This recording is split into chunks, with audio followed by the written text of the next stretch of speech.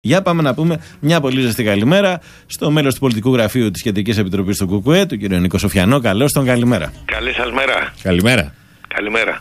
Λοιπόν, καταρχήν, η πρόθεσή σας είναι να το τηρήσετε το 1η του Μάη δεν έχει συγκέντρωση κτλ. ή Νομίζω ότι και η ανακοίνωση του γραφείου τύπου του κόμματός μας χτες, αλλά και η ανακοίνωση του Πανεργατικού Μετόπου και δεκάδων σωματείων σε όλη τη χώρα αποδείχνουν ότι είναι πρόσχημα αυτό που λέει η κυβέρνηση. Με πρόσχημα την πανδημία προσπαθεί να βάλει σε καραντίνα και την εργατική πρωτομαγιά αλλά και κυρίως τις εργατικές διεκδικήσεις γιατί έχουμε μπει στην επόμενη μέρα έχουμε μπει στη μέρα που πρέπει να ακουστεί δυνατά ότι πλήρωσε πάρα πολλά αυτός ο λαός δεν θα πληρώσει ξανά αυτό σημαίνει συγκεκριμένες διεκδικήσεις που μαζί με την περιφρούρηση του ύψιστου δικαιώματος στην υγεία και στην ασφάλεια των εργαζομένων ε, είναι και οι συνέπειες της οικονομικής κρίσης, είναι η κατάργηση όλων αυτών των πράξεων που έκαναν ακόμα πιο ζούγκλα, ακόμα πιο ευάλωτη τη δουλειά σε χιλιάδες εργαζόμενους. Άρα, κύριε Σοφιανέ, κανονικά την 1η του Μάη Παρασκευή οργανώνεται. Την 1η του Μάη, παντού σε όλη τη χώρα και στο κέντρο της Αθήνας, συμβολικά λόγω της πανδημίας και χωρίς τα προσχήματα της κυβέρνησης, γιατί πιστεύω και εσείς ε, θα συμφωνήσετε ότι μετά από μια εβδομάδα οι υγειονομικοί όροι θα παραμένουν.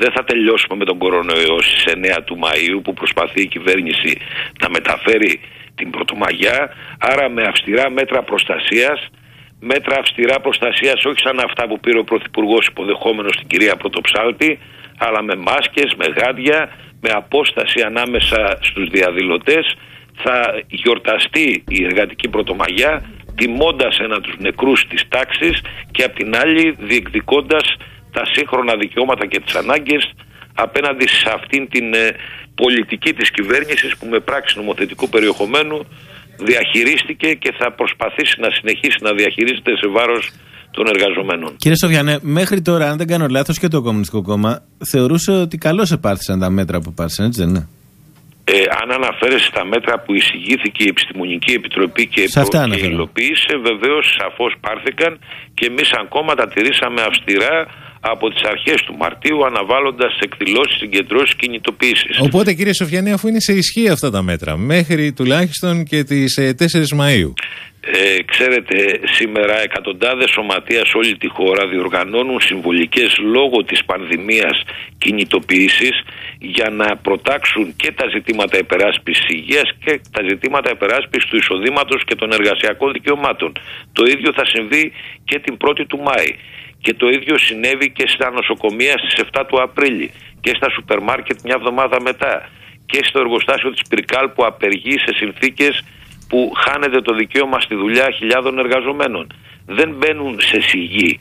Εμείς είπαμε από την πρώτη στιγμή μένουμε δυνατοί, τηρούμε τα μέτρα προστασίας της υγείας, αλλά δεν φημώνουμε τη φωνή. Αυτή η φωνή θα ακουστεί δυνατά, παίρνοντας αυστηρά όλα τα μέτρα, ξαναλέω, που πρέπει να πάρθουν ε, σε σχέση με, τα, με την προστασία για των, να που θα διαδηλώσει. Για να ολοκληρώσουμε την κουβέντα. Είτε γινόταν, που θα γίνει από ό,τι καταλαβαίνουμε, την 1η του Μάη η απεργιακή κινητοποίηση. Είτε γινόταν σε 9 του μήνα.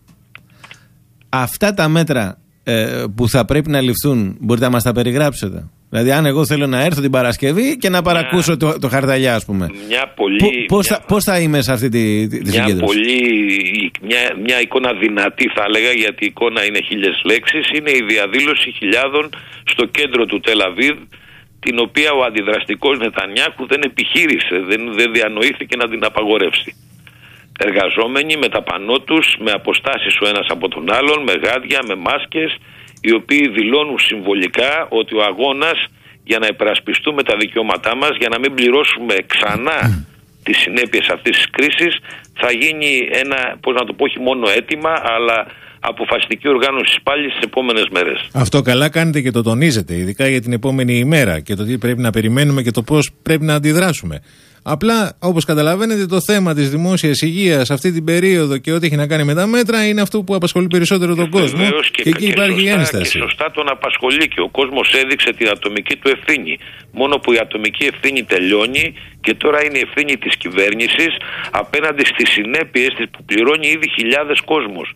Γιατί έχουμε κόσμο ο οποίος έχει μπει σε καθεστώς πράξεων νομοθετικού περιεχομένου. Φυσικά. Με μια τεράστια βεβαιότητα στη δουλειά του. Έχουμε συνοστισμό στα νοσοκομεία.